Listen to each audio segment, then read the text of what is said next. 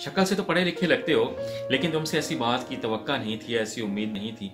क्या फ़ायदा ऐसी तालीम का? तुमने पढ़ लिख कर सब कुछ गवा दिया। कहते हैं, दोस्तों कहते हैं कि गधों के सर पर मनो किताबें भी लाद दें।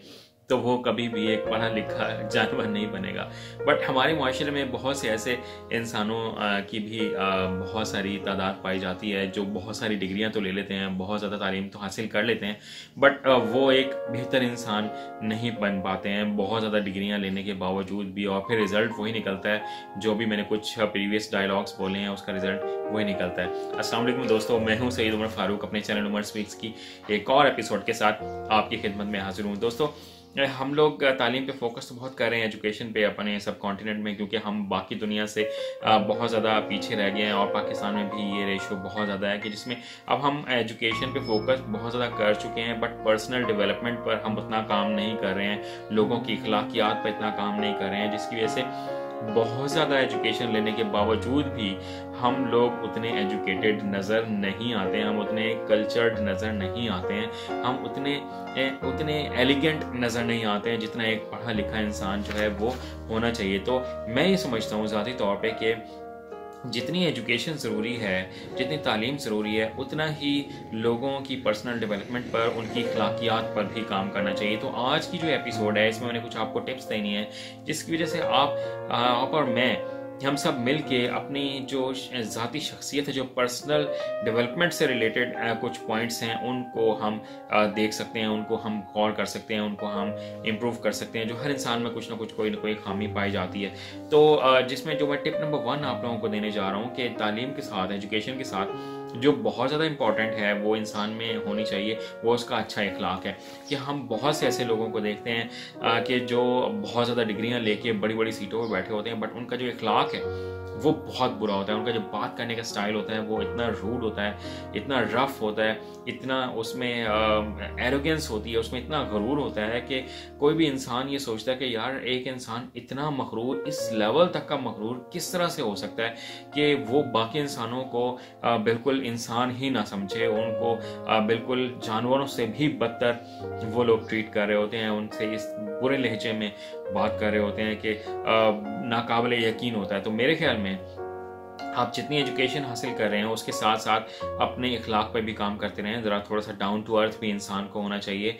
ये एक पर्सनल डेवलपमेंट का, एक पर्सनैलिटी का एक बहुत एक बहुत इंपॉर्टेंट एस्पेक्ट है। ये ये मेरा पॉइंट नंबर वन था। जो पॉइंट नंबर सेकेंड है, वो है सोसाइटी में अपना रोल प्ले करना चाहिए कि हर इंसान आजकल सिर्फ़ अपनी ही दौड़ में लगा हुआ है कि यार मैं इतने पैसे कमा लूँ, ये मेरी जॉब अच्छी हो जाए मुझे ये बेनिफिट्स में मिल जाए, मुझे गाड़ी भी मिल जाए मेरा घर भी बहुत अच्छा हो बट हम लोग सोसाइटी की तरफ़ नहीं सोचते कि यार सोसाइटी को भी तो बेहतर होना चाहिए। उसमें इंसानों के साथ तो हमने अच्छा रवैया रखना ही है, हमें जानवरों के साथ भी बेहतर रवैया रखना है। तो उसमें हम क्या कर सकते हैं कि हम जानवरों के साथ बेहतर रवैया किस तरह से इख्तियार कर सकते हैं कि अब गर्मियों का सीज़न आ रहा है। तो हम एक छोटे से बॉल में अगर हम थोड़ा सा पानी और थोड़ा सा उनकी खुराक, कोई दाना कोई बाजरा, अगर हम उनके लिए भी रख देंगे तो ये भी एक सोसाइटी को बेहतर बनाने में हम अपना रोल प्ले करेंगे। हमें सिर्फ़ और सिर्फ़ इसी तरह परिंदों का और जानवरों का ख्याल नहीं करना है, हमें अपने गरीबों का भी ख्याल करना है।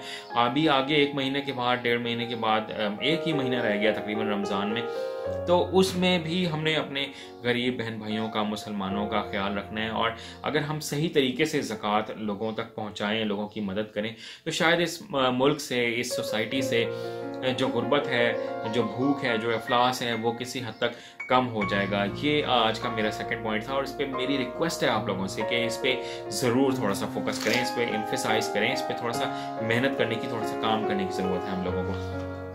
देन जो टिप नंबर थर्ड है, वो है जनाब बहुत सी ऐसी आदतें होती हैं जो बहुत मामूली लगती हैं बट वो इतनी मामूली होती नहीं है। फॉर एग्ज़ाम्पल हम लोग अगर किसी गैदरिंग में हैं जो मिक्स गैदरिंग है, कि जहाँ पे मेल भी हैं और फीमेल भी हैं, अगर आप सीट पे बैठे हुए हैं और फीमेल आपके बाद आई हैं तो मेरे ख्याल में उनके लिए जगह छोड़ देनी चाहिए। अगर छोड़ देंगे तो उसमें कोई हर्ज नहीं है। आप अगर कभी कोई पब्लिक ट्रांसपोर्ट यूज़ कर और आपके सामने अगर कोई फीमेल आ जाती हैं, उनको सीट नहीं मिल रही है तो उनके लिए जगह ऑलरेडी छोड़ देनी चाहिए। ये महसिब माशरों की निशानी है। आ, हम किसी ऐसी महफिल में बैठे हुए जहाँ बुज़ुर्ग भी अगर साथ मौजूद हैं तो आ, अगर हम वहाँ अपनी सीट छोड़ के किसी बुज़ुर्ग को वहाँ बिठा देंगे तो ये कोई ऐसी बुरी बात नहीं है इसमें आपके दर्जात बुलंद होंगे। अल्लाह ताला को भी ये बात पसंद है ठीक है? तो हमेशा फल उसी शाख पे लगता है ना जिसमें थोड़ा सा झुकाव होता है जो थोड़ा सा डाउन टू अर्थ होती है जिसमें थोड़ी सी नरमी होती है जिसमें लचक होती है तो ये लचक थोड़ी सी हमें आई थिंक पैदा करने की ज़रूरी है ज़रूरत है एज ए सोसाइटी फिर खाना पीने के आदाब हमारे बहुत बुरे हैं, हम पढ़ लिख तो जाते हैं बट जो हमारे खाने पीने के जो आदाब हैं, वो इतने बुरे होते हैं कि मैंने बहुत से पढ़े लिखे ऐसे लोगों को भी देखा है कि जो दोनों हाथों से खाने की कोशिश कर रहे होते हैं। और फिर जब खा रहे होते हैं तो इतने बुरे तरीके से खा रहे होते हैं कि यकीन नहीं आ रहा होता कि यार ये कोई इंसान ही खा रहे हैं। महफिल में किसी भी जाते हैं, शादी ब्याह में जाते हैं तो खाने पर लोग इस तरह से टूट के पड़ रहे होते हैं कि जनाब कुर्सियाँ, टेबल्स उखाड़ के फेंक देते हैं। और ऐसा लगता है कोई कोई कोई जंग स्टार्ट हो गई है खुदा ना खास्ता। तो ये खाने पीने के आदाब हमें अपने बचपन से ही बच्चों को सिखाना चाहिए कि बच्चों को हमने किस तरह से महफिल में लेके चलना है, क्योंकि once they grow to fifteen to sixteen years then फिर बात थोड़ा सा डिफ़िकल्ट हो जाती है। तो बच्चों को बचपन से ही खाने पीने के अदाब हमें सिखाने चाहिए। दैन जो टिप नंबर फाइव है जो लोगों को बताने की ज़रूरत है कि वो हर इंसान से उसके लेवल के मुताबिक बात करनी चाहिए कि आप एक बड़ी सीट पे बैठे हुए हैं। आपके अगर लेवल के इंसान अगर कोई आए हैं तो हम देखते हैं कि यार स्केल बराबर है तो उनके साथ गपशप का स्टाइल थोड़ा मुख्तलिफ़ होता है। थोड़ा सा लोअर ग्रेड का कोई बंदा आ जाए, उसके साथ गपशप का स्टाइल बात करने का स्टाइल ही थोड़ा डिफरेंट हो जाता है। बिल्कुल कोई लोअर ग्रेड से कोई इंसान आपके सामने आ जाए तो उसके साथ तो हम जितना बुरा रवैया अपने माशरे में होते हुए देखा है और हम लोग रखते हैं, वो बहुत ही एक एक नेगेटिव एस्पेक्ट है हमारी सोसाइटी का, पूरे सब कॉन्टिनेंट का, ये ये किसी एक मुल्क की मैं बात नहीं कर रहा हूँ, सिर्फ़ पाकिस्तान की या नेबरिंग कंट्रीज़ की बात नहीं कर रहा, पूरे सब कॉन्टिनेंट में हमें ये चीज़ नज़र आ रही है और ये चीज़ इम्प्रूव आई थिंक करने की बहुत ज़्यादा ज़रूरत है।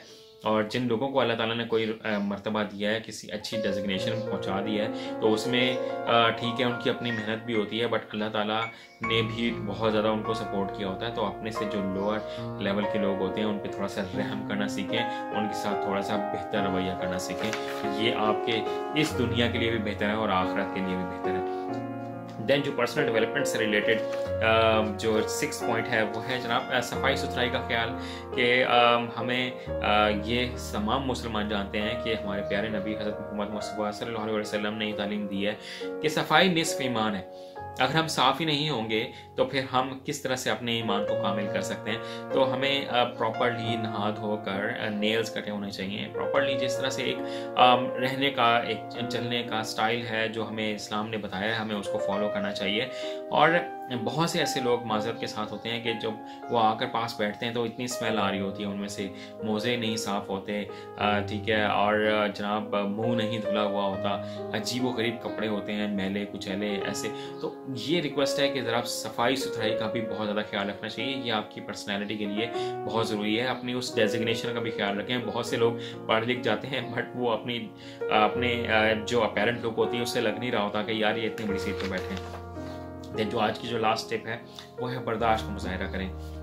कि हम में से बहुत से लोग गुस्सा करते हैं, मुखालिफ बंदे की बात को बर्दाश्त नहीं कर पाते कि अगर किसी ने कोई बात की है तो उसको बर्दाश्त करना हम हमसे लोग, हम लोगों के लिए बहुत मुश्किल हो जाता है।